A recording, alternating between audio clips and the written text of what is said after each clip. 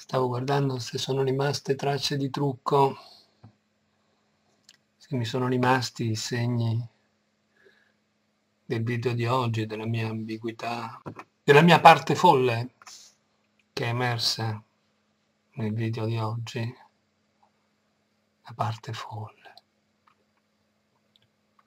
E la parte razionale, la parte libera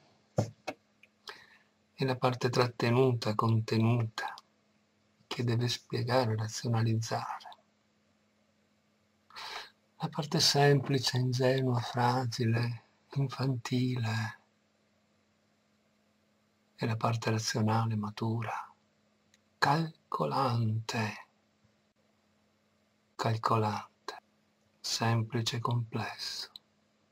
Ma anche quando si parla di semplice, in realtà le cose non, è, non sono sempre così semplici. A me viene sempre da distinguere quello che è semplice, bello, semplice perché naturale, perché, perché privo di qualsiasi altro appello, perché lo si capisce così com'è, si presenta, si mostra per quello che è. Da quello che è semplicistico, che è apparentemente semplice, ma che è banale.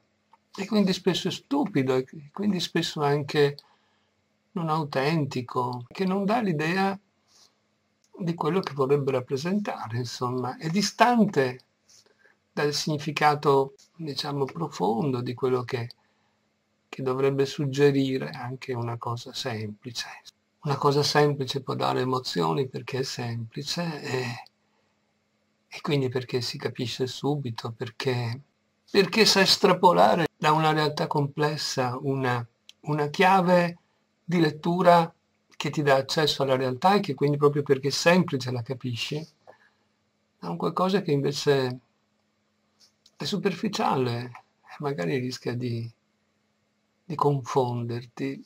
E allora la musica mi aiuta in queste cose qua, mi aiuta la forma, la forma anche in musica. Il discorso non è più facile in musica, insomma, no? pensando alle forme musicali e soprattutto pensando a tre forme musicali in cui la parte semplice in qualche modo viene elaborata, la parte semplicistica che potrebbe essere all'inizio o sembrare all'inizio viene elaborata e alla fine ritorna come, come autentica semplicità. E queste tre forme sono la fuga, sono l'aria con variazioni e poi l'aria l'altra forma, la forma sonata. Insomma.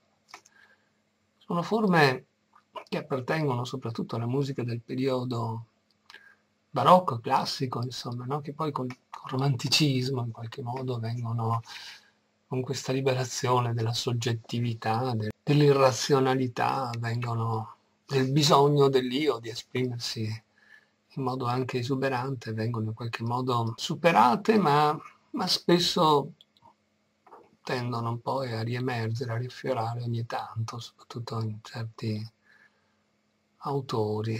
Il tema, il tema del, della fuga, quando è esposto all'inizio, spesso è un, è un semplice motivo, è una cosa che non... se rimanesse lì, buttato lì, no? Come questo, questo tema, sarebbe una cosa che potrebbe anche sembrare banale.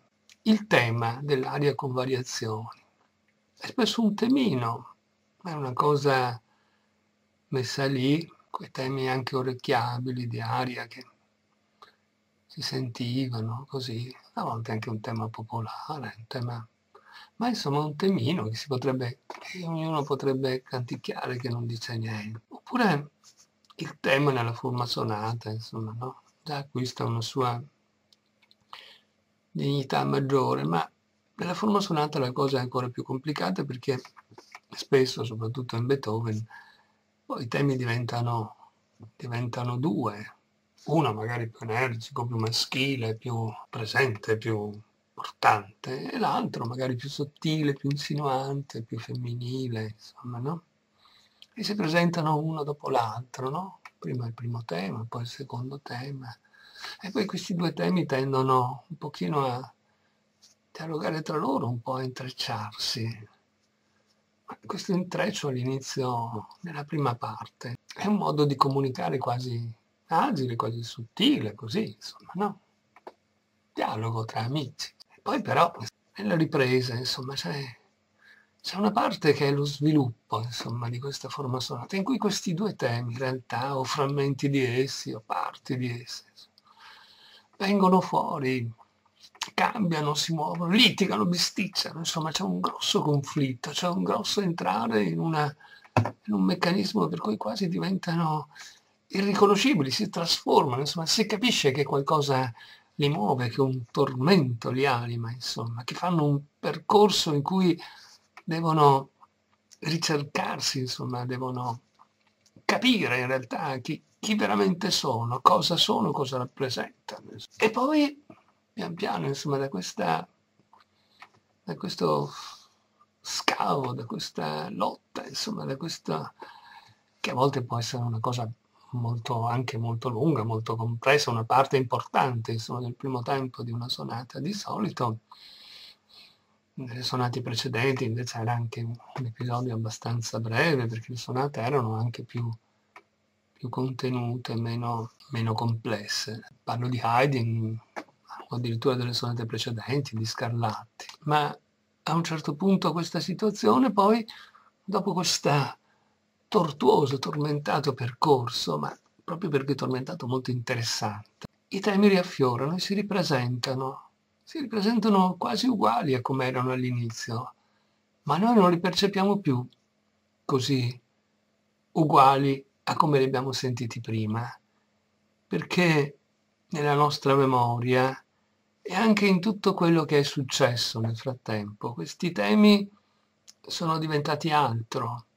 Ritorna la semplicità dopo il terremoto dello sviluppo, ma, ma questo terremoto in qualche modo ha, una, ha un suo motivo di essere, perché poi quando questi temi ritornano li conosciamo, hanno una vita propria, vivono una, in una nostra memoria che ha perduto l'ingenuità iniziale ha sperimentato un percorso, un tormento che assomiglia a quello che poi si sperimenta nel, nella vita, insomma, no? nell'esperienza che la vita ti porta a fare, e poi finalmente, allora sì, si ritorna a una semplicità, è la semplicità di chi prima è andato all'inferno, di chi prima è sceso, di chi è stato costretto a confrontarsi con con, con, la complessità del reale. E solo dopo questo confronto, questo tormento è ritornato o può capire effettivamente, può apprezzare, può mostrare un animo semplice, un'idea semplice, una, una frase semplice come nella, nella musica, cioè può riacquistare una vera, acquistare una vera semplicità che all'inizio non era, sembrava ma non era, era Poteva essere ingenuità, mancava ancora dell'esperienza, del dato acquisito del confronto con reale, della, della dinamica che emerge nella lotta, nel confronto con, con l'altro e non solo con l'altro, ma anche con, con l'insieme, con, con, il mondo nel suo complesso, o con quello che fa mondo. Nell'area con variazioni anche lì spesso abbiamo questo temino e questo temino però, come dire, non entra in conflitto con altri temi, non c'è un secondo tema come nella forma sonata o elaborata.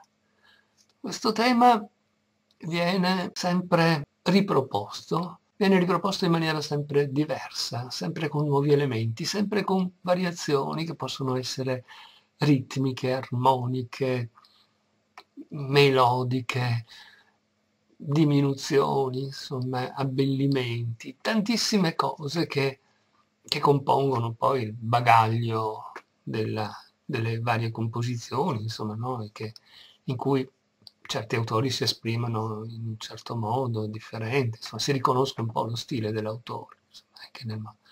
Però insomma questo, questo, scavare su tutto quello che, che il tema nella sua semplicità, nella sua linearità iniziale suggerisce, un, anche questo può essere un lavoro lungo, un percorso, il tema si trasforma quasi completamente, a volte diventa quasi impossibile riconoscerlo, richiede uno sforzo, lo si riconosce sempre con attenzione, ma non, non è così facile. Anche qui un percorso, insomma, no? Come cambiamo, come ci cambiamo, a secondo di ogni esperienza che si vive, insomma, come, come ci modifica nella, nella struttura, nel profondo ogni esperienza, quante trasformazioni viviamo. E alla fine, però, anche in questo caso, dopo tutta questa serie di trasformazioni, il tema iniziale ritorna e anche qui, quando lo risentiamo nella sua veste semplice iniziale, non è più quello ingenuo dell'inizio, è già un'altra cosa. Anche questo ha fatto un percorso, un cammino diverso da quello della forma sonata, ma ha avuto bisogno anche in questo caso di scendere, di sprofondare, per poi risalire in qualche modo uguale ma diverso, rinnovato. E allora sì, veramente semplice. Una semplicità che ha capito qualcosa, o tutto, molto, della vita la fuga. Invece nella fuga c'è lo stesso tema, non c'è lo stesso tema che nello stesso momento entra in scena. C'è un tema che si divide in più parti. Insomma, ci sono più voci, si chiamano, che cantano la stessa canzone, ma cantano la stessa canzone, la stessa melodia, cominciandola in momenti diversi. E poi nei momenti successivi in cui entrano queste voci e quindi all'inizio la prima voce che annuncia questo tema è, una voce che annuncia un tema, una melodia che può essere anche semplice, anche molto banale, insomma anche in questo caso, melodia semplice, però poi il fatto che la seconda voce riproponga la stessa melodia su un altro livello e la terza poi entri dopo riproponendo anche questa, la melodia in un livello ancora diverso, fa sì che queste melodie si fondono, creano armonie diverse e poi ci sono giochi all'interno della fuga. Anche qui tutto un percorso, un percorso in cui si sente ovviamente la mano dell'autore, insomma, diverso a secondo del tema, del carattere del tema, triste, allegro, complesso, diciamo un tema melodico, oppure un tema molto cromatico, molto denso di... di... Ecco, però sviluppo anche qua, insomma, no? Episodi vari. E poi la fuga anche qua finisce in genere con la riproposizione, magari in maniera più stretta, di questi temi che riusciamo a riconoscerli, no? E noi riusciamo a sentire durante, durante la fuga sempre questi temi che, che entrano, riconoscere i singoli elementi, però in tutto il percorso della composizione questi temi sempre, come dire, offrono armonie nuove, spunti nuovi, insomma, si, si modificano, si scavano, si contorcono, a volte anche giocano allegramente, insomma. E poi alla fine anche qua, quando hanno dato tutto della loro possibile, ritornano a una semplicità iniziale e la cosa finisce. La semplicità non è mai ingenuità, se usiamo questa metafora musicale, insomma, per capirla. L'ingenuità iniziale spesso così che apprezziamo, che diciamo, oh, ma che bello, perché è semplice, puro, insomma, non ha conosciuto. E quella è una semplicità che, che rimane lì, che può essere attraente da un certo punto di vista, ma che, che manca dello spessore necessario per dirci qualcosa, qualcosa di significante, di profondo. Per cercare la profondità, appunto, bisogna, bisogna compiere un, un viaggio un viaggio che a volte è un viaggio contorto, difficile, elaborato. Questo tema, se, non, se l'autore se lo butta là, non ci dice niente, è una cosa che potremmo fare ognuno di noi, insomma, no? Inventarci un motivetto. Ma dove vediamo la mano dell'artista, del musicista, e com'è questo motivetto semplice lo sa elaborare, lo sa modificare, lo sa, lo sa scavare all'interno di questo motivetto. Insomma e sa farne una creazione. ma senza perdere la bellezza di quel motivetto iniziale. E quindi ritornare alla fine a offrirci questo motivo, ma allora palpitante per chi ha fatto l'esperienza della vita, delle trasformazioni, a volte anche si è avvicinato alla sua morte, sembrava spegnersi, poi rinasce. E solo allora acquista la sua bellezza, la sua profondità e la semplicità, che è una delle caratteristiche anche di questa bellezza. La semplicità non è mai allora solo semplicismo, soltanto, ma è qualcosa che ha in sé invece e che ha dietro alle spalle la vita, la conoscenza, il viaggio e anche la sofferenza, il dolore, insomma, tutte quelle cose che, che poi connotano una vita e connotano anche la sua capacità di non lasciarsi schiacciare in questo percorso che ha fatto, ma di risalire, di ritornare a trovare se stessi dopo che, che si era rischiato di perdersi. Quello che abbiamo, quello che rimane, allora quello è un qualcosa, è un distillato, è un filtrato. Semplice sì, ma altamente significante, non semplicistico.